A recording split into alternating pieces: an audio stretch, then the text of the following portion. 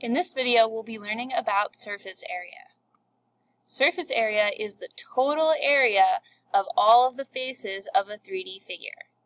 Some examples of when you might use surface area in real life are if you're wondering how much wrapping paper you'll need to wrap a gift, or if you're wondering how much paint you'll need to paint a house.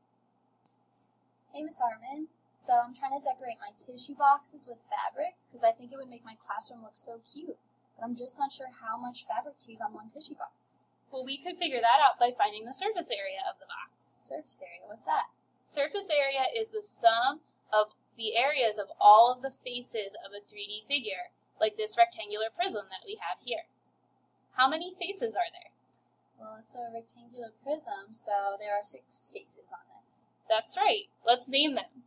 There's the front face, the back face, the top face, the bottom face, the left face, and the right face. And they're all rectangles. So all that we have to do is find the area of each of our six faces and add them all together. Then we have our surface area. You know what I noticed as you were pointing out the faces of our prism? The opposite faces look the same. Like the top face and the bottom face, they look the same. That's right. And the right and the left and the front and the back because the opposite faces are congruent. So if we find the area of one, we automatically know the area of the opposite face is going to be the same. So really, we just have to find three distinct areas, double each one, and add those products together. Then we have our surface area. Ooh, it's Mrs. Kentop. Uh-oh. Hey, Mrs. Kentop, what's up? Oh, you have the secret phrase for tomorrow. Purple narwhals? Alright, cool. Thanks. See you tomorrow. Let's find the surface area of the tissue box. Make sure on your note sheet to write down the names of all of the faces like I have here in my table in order to keep your work organized. We're going to start by finding the area of the front face which I'm shading in blue. Since the front face is a rectangle, we're going to use the formula for area of a rectangle to find its area. So A equals length times width. The length is 8.5.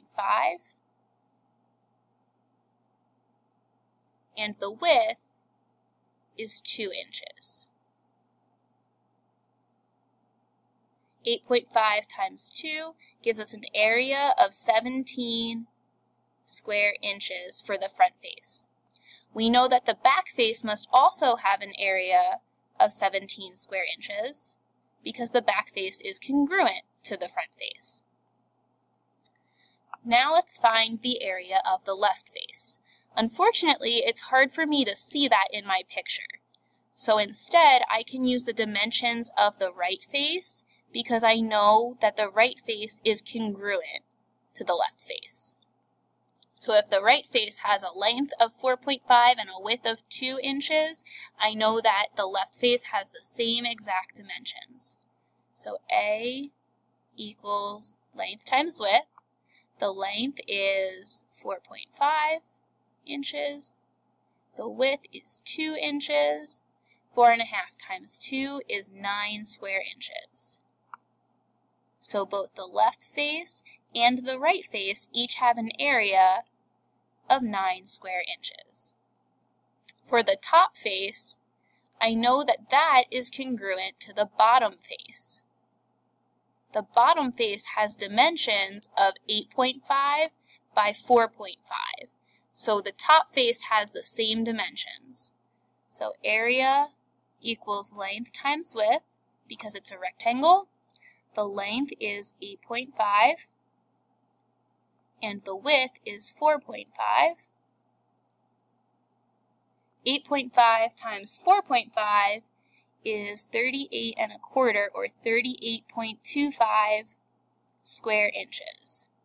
Therefore, the bottom face also has an area of 38.25 square inches.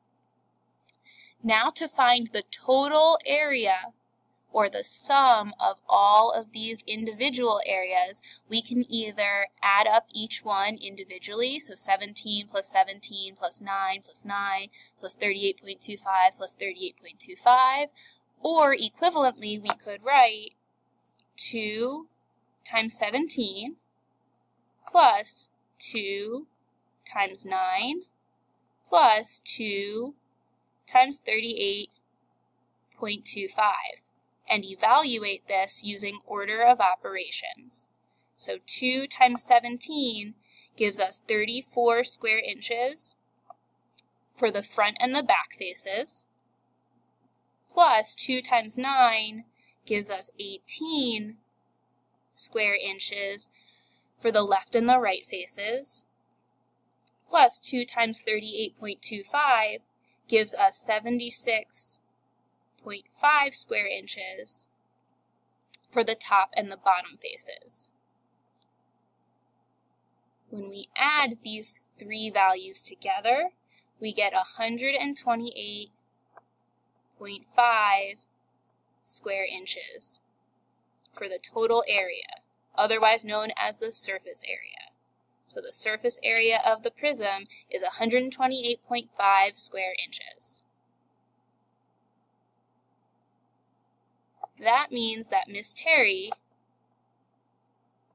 would need 128 and a half square inches of fabric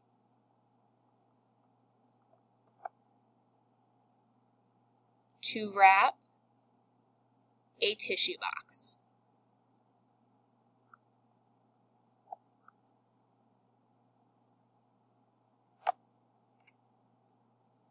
Here's what we've learned in this video. Surface area is the total area of all of the faces of a 3D figure. We can find surface area by adding the areas of the faces of our 3D figure.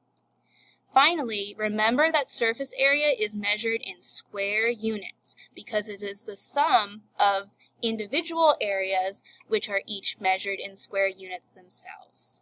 Thank you for watching.